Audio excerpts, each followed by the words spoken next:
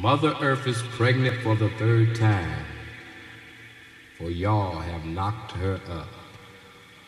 I have tasted the maggots in the mind of the universe. I was not offended, for I knew I had to rise above it all or drown in my own shit.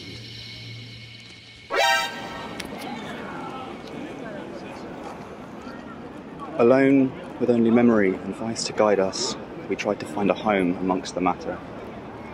We found a safe and protected space to create, and on its floor the little feet begin to patter. We painted forms on stony walls to store the sources of our story. We raised our gaze up high to put it in the sky, to correlate the constellations, all according to our design. We spelled their alignment to mirror our environment, an experiment to tell the passing of our time. In this space, we built a palace to chime our supernal rhyme sublime, a chalice to contain our pooling essence divine. This fermenting cauldron did hold the genesis of all our glories. We did congregate in our quarry in this quiet place to get warm and horny, to rest at end of journey, to fiddle hands, craft, create, and conjure, to indulge euphoria, a vast sensorium, our phantasmagoria. A memorial filled with vast potential was this initial chapter. And in this surrogate womb, the cellar door we filled with laughter. Then, one fateful morning, we did begin to sing and chatter. We learned the word, and with the word, we named and tamed the herd. We tamed the flame, and on that day did break away and pave the world of herd. We burnt the plain and deigned to reign our vanity over grain, and we tilled the wilderness, domesticated its finesse, all within our domain. And the forest's tall, we burnt it all for our cindered and charred remains. We felled the trees, and by degrees did slip away from origins, converted timber into lumber as a piece of us did slip ever deeper into slumber. We used the tinder and the kindling to warm our fading umbra, as yet unaware of any fatal blunder. We used the number to marshal the forces to our hunger. We slayed the giants for their defiance to our thunder. And long before we codified the outline of our tribe, we waged a genocide against the others of our kind. Where once Denisovan and Neanderthal did thrive, in time the sapien only would survive. Our acoustic filled periphery did flicker and fail, did stutter, did spit static. Our roots split and savaged, somatic, traumatic, and a fracture in the attic. We did capitulate to the quadratic. Our plotting laid out, got lost in a lot in front. Spherical topography yielded and gave the square a decisive victory. Did yield to its enframing territory. A primal scream in the primordial scene, a bicameral hemorrhage in the Eocene. And so our fate was sealed, and the evidence of our divinity concealed, confined to what blind sight alone revealed. Our cave domain now just shadow play, Aegis a leaden and heavy shield. Over this linear plane of dominance we turned the plough, did sow the seed of history's ignorance, create this present state intransigent, allow our disturbed and eternal now, all with one decision, to forge a world conforming to our vision. We began to plunder all the wonder from under the loam, dreaming thieves of absent meaning, longing for a place to call home. From this palette we forged a mallet, did smash it and then add it to our form. From our dreams we conjured means with which to string the precious things. Then we made a seam to put between our meaning and the world, did wrap our kin in stitched clothing, replace a skin around the centre, created a hallowed space to enter, not knowing a piece of us we banished, did vanish in absentia, did establish our dementia, did begin this fetid venture, for with obscene invention, though with every good intention, in the gaps of its dimension, did our fascism form attention. This incision did schism, did become heated with a friction, did create a hell of new dominion in which to fester and suppurate a legion. So began the season of our sworn allegiance to a treason. For in this hidden septum did congeal a great and terrible division, a grand and haunted conception formed within the doors of our perception, a spectral sentinel that obscure our mission. Choronzon did split our single Elysian like light within a prism, and did bind us to the sect of a religion it forged the iron bars that cast restrictions to our rhythm. Scarred mechanical, maniacal manacles round the wrists of our vanguard. It brand and sear their metaphor into the heart and mind and voice of our condition. seizures, sky on, our arborescent environs, spit iron in our horizon. This patrician did threaten us with sedition and incarceration within a prison, an imp of perversion lurking in the sight of our possession. His institutionalized mode of perception, the signal reception, the inception of our condition, the seed in need of exorcism to ease our sad contrition. So set forth the patriarch. HCE he did embark. This sinister linear experience of time did he also christen. Repent, relentless, and yet condemned to the endless and stench of his advance. His cryptic triptych cornered and squared in the intersection of an orrery. His tetragrammaton an anagram, a purest agalma amalgam of teraton grammar with which to speak his horrorglam bound us within the shifting sands of a hologram. The cauda upon us hidden, absurd, obscured obsidian, that Lepidian sunset that did give meaning to our mission. Iridesce and shimmer, coalesce, the infinite glimmer went into remission.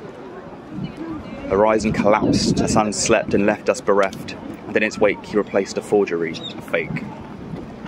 Eldritch, rigor and rictus his hate, his lurching gait a contorted mortis, his thought a piercing, searing hiss, a fuming piston, his sapience an abortion, in the weave of his fascia torsion, choreography warped and distorted, a clockwork winder of heinous divisions reporting with immaculate machinery precision.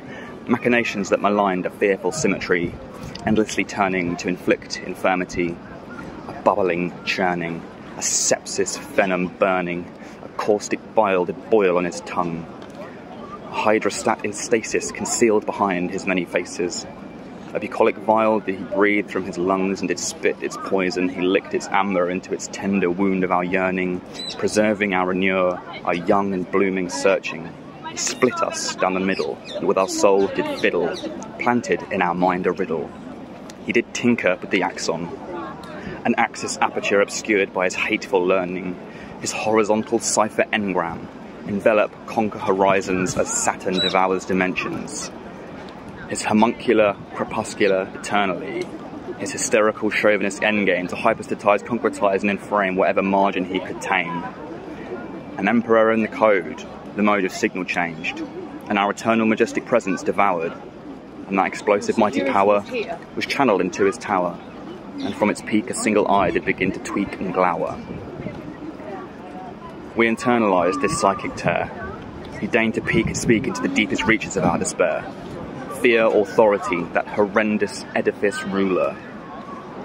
The Emperor knew clothes encoded on the node, a paranoid surveillance camera concealed in the depths of mind. Just a bip in time, the Black Iron prison. Yet the entire fall of history from this little bit arisen. The demiurge was so inclined to entwine us in a line, and in his benevolence he bound us to subservience. He put each inside their space, forbade us from reconnecting to our morphic sweet embrace. Thus began this chase, this race against the faceless. Make haste towards our essence and its disappearing trace. Efface our names and devour our fading grace. Cast us into a vase where time is dependent upon space. A repulsive field of other did breed between the brothers, and a sinister skein of whispers did seed amongst the sisters. Our tactile social grooming transmuted into rumour, did descend into a murk of brooding mist that concealed a growing tumour. Did blister a forked and double tongue of speaking, would reveal a second face whilst preserving the pretense of remaining chaste, would bite the thumb in a moment that was sneaky, might make haste to vent and fume when somebody left the room, could pretend to ch- turn the other cheek, to cheat and play meek to keep secret one's own denied intent, would sow distrust behind the back, would gossip, manipulate, and tact, would threaten, scheme, connive, and bribe, all to improve one's own withstanding within the tribe. So I was set a binary, defined, defined within a rigid boundary. Us versus them, ruled by the loudest he. Chest beat, berate, and venerate the most violent and dominant ape. It did dictate to make us separate from nature. did cause us to fabricate a maker. And in his image did we pillage, and did plunder and cast the useless asunder. Did set ourselves against our neighbour, did condemn our souls to labour. Beguiled by our own wiliness were we, slowly coerced into currying favour. We formed a contract as our trusted waiver, did savour the excess, did accumulate and store a hoard for winter, did arrange between ourselves to create a state and share some things for later We made a pact to create a stack, store for what our tomorrows might lack. Another devil's wager, tied down for what we couldn't carry on our back. An inch to parry off attack, a hoard for fear of futures uncertain, paranoia prey what may lay behind the curtain. He ordered a hall in which to perform and store, formed an apportioning of class behind the wall, cast each in a seat, determined who was allowed to speak, defined a drift, a rift between wealth and poor, between health and the door to death. But this wall was naught but a double-edged sword to keep away the horde. A prescient testament to our spreading psychic cracks, the fractures managed and anchored by this feudal lord, food for naught but bread and board. Confused and thoughtless are serfdom to their extortion, in their allotted portion, yet more room for alienation's contortion. Isolate resound and bounce and echo, tune out a signal channel, uneven 11 up the volume on our distortion panel. Outside the wall that gathered those marauding saboteurs not fit for civilized etiquette. Heathens, their very breath would steal the meaning from the written record. They sought only to sow discord and threaten our hallowed law. A barbarian rabble, their Babylon an omen of civilization's epithet. Quick, sneak ahead above the parapet of those authors of our downfall. President elect, please provide a vignette to define this other from our home. Enemy within my frame of reason. Paranoia, please, oh, O Grand Master, we are pleading. Appease this condition. Restore the honor to our story. Return to us our glory. Make our nation great again and those incursive insurgent forces tame again. With the virtue all avert our aversion, rewrite a new version of events. Repress the pain of the sentence our restless and relentless. String them up with thy gizzard until their grand wizard does repent. They are destroyers of sacred tones, their guttural utterances an affront to our sacred governances. For fear of them we must withdraw, cordon ourselves off from the all protected by this wall of clay, inscribed with our Levi- Leviathan bribe, its rules ciphered and encoded by the scribe, beyond the senses of the layman of the tribe. He did decree the hierarchy of the hive, and though a riot was suppressed, the cost of the loss was not yet apparent. It wasn't long before our senses began to dull and quiet. As we settled into blander diet, we lost some hints of flavour. We settled down in settlements like sediment on a riverbed, from this stead we fed our lot, and in its frame we constructed our plot. This is us, and that is them. Our all accounted for in this ven. Another margin for further rot. Our search for more nutriment became a fundamental detriment. Sedentary and stationary, a rock did sink into the pit of our wellspring, did block the disappearance of our feeling. Beyond the perimeter of our seeing, this fossil they forgot. Life became a hereditary subsidiary, Please stick to your allotted plot. We got to keep up the breeding to keep the spreading of the seedlings. Like grazing mules, we foolish tools needed gruel to fuel our bungling hunger. To sate it, we lost our sense of wonder. We actively repressed our thunder, ciphered and siphoned off by our fundamental blunder. Fire for a new aphasia to aid the spreading of the maze. And amazed as we were as we were at our own praise, we got lost in labyrinthine days. we inset and set in stone this terrible and haunted malaise.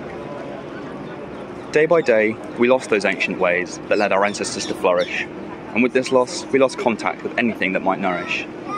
In this inertia did amnesia feed, and in some occluded space within our race did our essence begin to bleed. We set the pace that set us face to face with the consequences of progress and greed.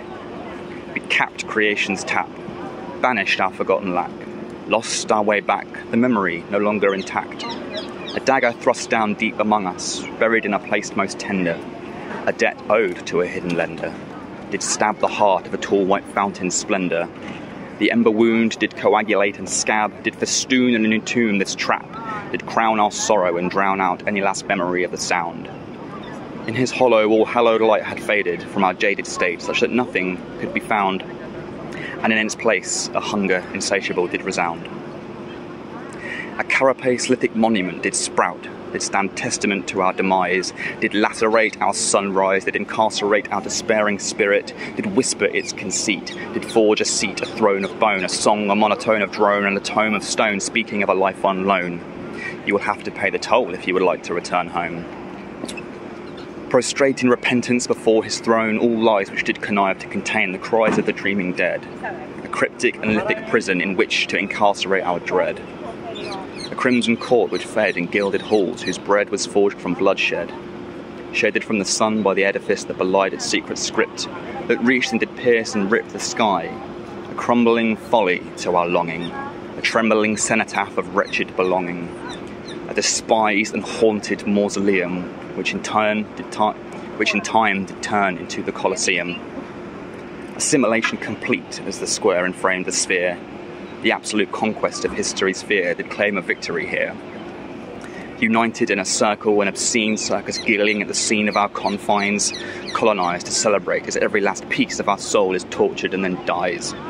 He did decree a tournament to incorporate the disproportionate, to perpetuate the monarchy, to subordinate the proletariat under the thumb of Parliament, a disarmament of this disheartened state, an ornament to celebrate his reign and all it meant, a delicate tourniquet, a surrogate to slake our delinquent benefit, a game staged within a frame to tame our insatiable flame. The master moved past the past and the present to create an eternal day. Checkmate not yet tricks the king, sidesteps the pawns and the peasants advance, befuddles them into yet another trance with his prideful and baleful glance upon this circumstance. He wondered how he might further enhance his stance. As father of this brilliant romance, he did deign to reign over all the forces of his domain, and he sought to tame all the sports and devotion to his fame, to strut in vanity all the adornments of his motives profane. They would celebrate his elegance and worship his benevolence, despite his burgeoning disgust and violence towards all beneath his station In dire malevolence, he did make many preparations. He expanded the treason of his nation, enslaved all those that did recoil his gustation. He, he spied a disgustful rabble, and in his motives did flare with hate. Now, it would seem, the barbarian Babel stands within his gate. It is his albino burden to placate and sate their ungrateful might. He heaved our gaze unto this frightful sight, and with a sleight of hand we did gather in the light to celebrate our own plight. At a spectacle we did delight, a delicate inversion to remove our compersion. Our own alienation reached such a degree that we elevated it to a sublime aesthetic delicacy. Like Yahoo ghouls, we slaver and drool, all for entertainment's delight and zoo. Such would come to mark the future of our decline, to coordinate an apportioning for the aborted forces of our becoming, inebriated by performance and all of its glamouring adornments. A recursive script and riddle encrypted in the fabric of time. Elevate, honour, and celebrate the gladiators and the jesters, all to conceal his crime. A throne for the celebrity, replete in naked absurdity. We desperately ingest the poisoned chalice and quaff its bubbling malice, all under the auspice of an obelisk ode to Phallus. Echo and resonate a thunderous applause as we tethered our soul to a leaden ballast inebriated and stupefied on the grape and grain, while our spirit is libated, secreted and secreted, the hidden teaching of a sacred hydration was taught within the palace. The excess was excreted, a blood cult feasting on our labour and other mysterious teachings. Meanwhile, alas, my Daedalus have passed, the masses are coerced and conscripted, persuaded by the callous script of kings to subservience, to live with clipped wings and aspirations, doomed to debt by endless taxations under the cloak and dagger corporation. The corpus of our story became the property of a fiction. All the masters of the craft must pay tribute to his vain jubilation. They all tricked into veneration. Unaware of our labyrinthine deviation, stupefied in fascination at the depths of our intoxication. Though capable of infinite creation, beaten into submission through fear of predation and the need of protection. A slick trick to have us believe it's the way it needs to be. Smoke and mirrors all to protect his trembling hegemony. A narrative befuddlement to have us accept our position at the bottom of the pack. All because of our forgotten lack, our fear of, of a dwindling stack, and of an imminent attack. But most of all, a guarantor for our amnesia, a big other to appease our fear the absence that dwells within the shaded depths of mind, the ultimate horizon as it backtracks into a rescinding point of black. Are you not entertained?